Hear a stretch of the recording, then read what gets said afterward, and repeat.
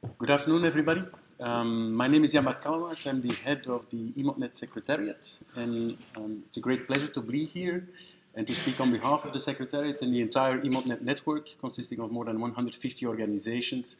And I think um, it was already great to have uh, Matteo speak about EMODnet chemistry, and later on also hear about um, the EMODnet bathymetry. And at the Secretariat, we're really doing a lot in terms of the coordination, assisting the Director General of Maritime Affairs and Fisheries, who are um, funding this initiative. And we are doing a lot on communication. And so that reverts back to some of the questions that were um, asked about how we can reach out to the different uh, communities and uh, users and stakeholders. And I try to answer some of the uh, questions and some of the actions that we are undertaking um, in this regard. So in my presentation, I don't have enough time to give you a full flavor of what we are all doing uh, within the different EMODnet projects on the technical level, on the operational level. But I'll give you a little bit of a flavor of uh, why we are doing this um, and also where we stand today and try to look a little bit towards the future uh, to see what we are planning in, on the mid and uh, longer term in terms of development of the EMODnet services and also in the, in the strategic uh, field of um, marine data management uh, for Europe. But then finally, I think the core of the presentation will be more focused on outreach, how we engage with stakeholders, how we are trying to convert from a very bottom-up um, science community-driven uh, initiative to a more, much more client-oriented and service-oriented um, service. Uh, so, mentioned before, we have a network of 150 organizations that are working hard to assemble marine data sets which are scattered uh, around Europe. But we are coordinating this effort with a five-person secretariat, which is based in the very exotic location of, uh, of Ostend.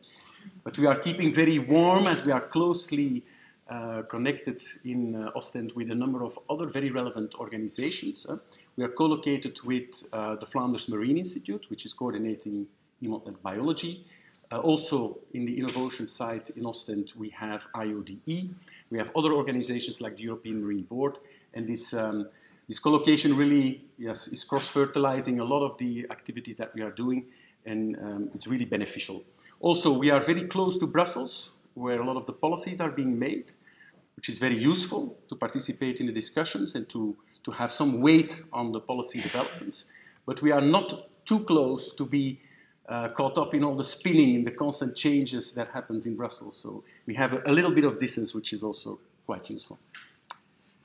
Um, before we can start talking about what we do in terms of um, marine data management and sharing, I think we have to start with the beginning, because of course there is no management of data if we don't first collect it. And very important in Europe, the huge cost is really in the data collection, and it's a cost which is largely carried by the member states. And as a result, a lot of the data has been collected and stored um, in regional or local data systems or in national data systems, not necess necessarily interconnected. So that's fine if you want to, um, to work on a very local uh, project or initiative. But if you need to patch together data sets from different disciplines or from uh, across uh, different countries or at the sea basin level or even wider if you want to develop a map, a pan-European map, it's very difficult to patch together traditionally. And that's also why about 10 years ago, um, the European Commission uh, decided to fund EMODnet in an attempt uh, to unlock all of the existing data that already sits and is freely available in local national data repositories, but which is not, which was not really connected. So which was very difficult to access. So we've been focusing since the beginning on the data side of things, but as you will see later on, we are now also expanding a little bit our reach, a little bit more downstream and upstream towards the data collection side of things and more provision of uh, data and information services and products. So EMODnet is all about data, um, but we also provide data products. So a lot of the data that has been assembled is used to create data products, mainly maps, but also um, we provide data services, tools to search, retrieve, manipulate, and visualize the data. We do it through a set of seven thematic data portals covering geology, biology, chemistry, physics, seabed habitats, human activities, and bathymetry. And one of the great strengths of EMODnet is really its very multidisciplinary nature. Today we have seven thematic data portals online, a central gateway and central portal. We have also an activity which looks at data adequacy, which is more looking towards um, uh, the data from the perspective of the user.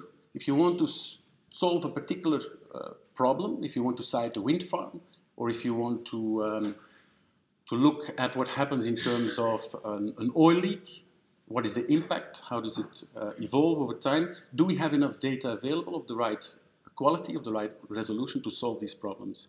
And that helps us to identify gaps um, and try to provide advice to, um, to the monitoring and data collection initiatives to improve um, the data availability. We also have a data ingestion facility, which is coordinated uh, by Dick, who is also here, um, which is a service that we provide to those actors, scientists or private companies who collect data, who own data, uh, who want to share the data but don't have the resources, nor the capability, nor time to make it available. And then we try to make it, um, to help them to provide those data ingested into our system. To show the relevance um, of EMODnet and what you can do with the service, we also started to collect uh, use cases. And I don't have time to, to go into uh, all of them, but we have a specific section on the central portal under solutions where you can have um, access to these use cases. And we have very different uh, use cases from the different teams um, oriented towards policy in the framework of the Marine Strategy Framework Directive, certain companies using uh, some of the maps in their um, applications or the services that they provide towards the, the bigger industries. So what's next? Um, in the coming two years, we will continue to expand the coverage in terms of the number of parameters, uh, develop higher and um, high resolution products, make sure that what products we develop are also fit for purpose, and we increasingly interact with the user communities to make sure that the products that we are developed are actually um, being used. We're also working a lot on interoperability and coherence between the seven thematic portals because they developed initially from a very, yeah, a bit of an isolated uh, perspective and we're trying to bring them much closer together. We're also working a lot on reaching new, um, new user communities and traditionally the business sectors have been very difficult to reach.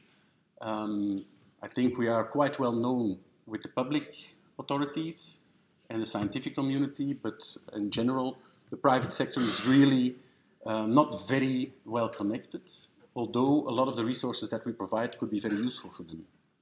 We're also organizing a number of uh, new sort of uh, activities, such as uh, open data competitions and hackathons, and I'll try to tell you a little bit more about that later on. So how do we see it evolve? I think we'll continue working uh, as a core on the marine data management and sharing uh, component of the marine knowledge value chain, but we're also um, engaging a little bit more with the data uh, collection and um, marine monitoring communities because it's still a very fragmented uh, landscape there. And we do that under the framework of what we call the European Ocean Observing System. And in two weeks' time in Brussels, we'll organize a conference where we'll try to bring together all of the various communities that are collecting data in Europe to see how they can work better together. And we have to make sure that that is very well aligned um, with what we are doing at the side of European coordination in terms of management uh, and sharing of that, uh, the resulting observations and data.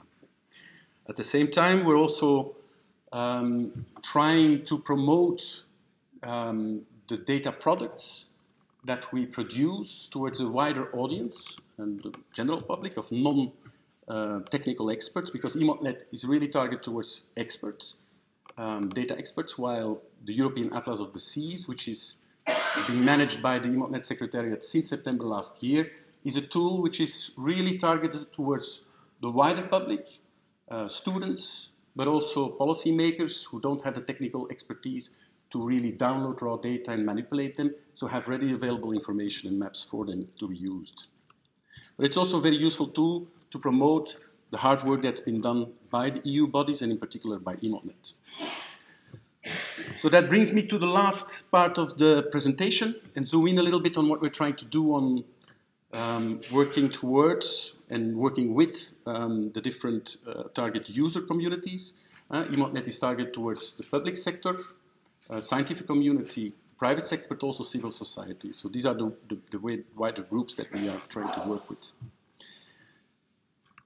We've done this um, by making our portals much more attractive and much more user-friendly to try and limit the amount of clicks that you need um, to reach the data, uh, the data products and the data itself, to try and avoid too much description about the projects, but really serve directly what the user wants. And we're trying to roll that out. We started with the central portal, and we're now rolling that out uh, towards the different um, thematic portals as well. We are also having a number of ways that we interact with users through very passively through uh, user surveys, but also we uh, do targeted interviews and assessments every year of the different uh, portals in terms of the friendliness, um, and the functionality, and that we feed back to the thematic portal so that they can take these comments into account. We've been working with the business, um, the uh, maritime industries, uh, since the beginning of this year. We had a targeted campaign. We had several meetings with uh, business associations to understand what they would need from EMODnet if they want to use it, but also in how they can contribute, because they collect a lot of data, which we would like to use to enrich our, um, our pool of resources. There's also an opportunity uh, to join EMODnet that we created for those who are not project partners. So any organization that wishes to be closer aligned and be involved in the network's activities, provide advice or steering, uh, can do so by becoming an, an, associated partner. So if you would like more information about that, you're free to uh, contact me or we can talk about it and you, you can join the network um, if you want. Then I would like to just say a few words about an activity that we did last year for the very first time. It was a bit of a learning, um, a learning curve. We organized the first EMODnet Open Sea Lab, which is a hackathon, three-day event in Antwerp, we brought together people from different backgrounds, um, technical experts, programmers, but also marine scientists, uh, students, um, architects, um, entrepreneurs, and they joined in different teams uh, working on, on different topics, developing applications, and we had some very nice results. Applications on uh, locating the, the beach, uh, best beaches in Europe, for example, or citing uh, the best location for um, algal production farms. Uh, and that was very worthwhile to do, and it's something that we want to repeat. So next year in September, again in Antwerp, we will have a three-day hackathon so if you're interested, please consult the Open Lab website and we'll be very, very welcome to, uh, to see you there. Then, to end my presentation as a strong communication tool to show what we've been doing with EMODnet, we have uh, the European Atlas of the Sea since uh, last year um, at the Secretariat. And we have now 120 layers of EMODnet that we uh, make available through, uh, through the Atlas. And this is one example, the, the EMODnet seabed habitats layer. You can uh, display, but you can overlay also with other um, layers that come from Eurostat, for example, or join the JRC. So it's really an interesting tool for all of you as well um, to, to consult and see what, uh, what we are producing. We also um, as part of this initiative, are working on educational programs. So we're working with uh, teachers um, to try and, and make the, European Atlas embedded into their uh, curriculum.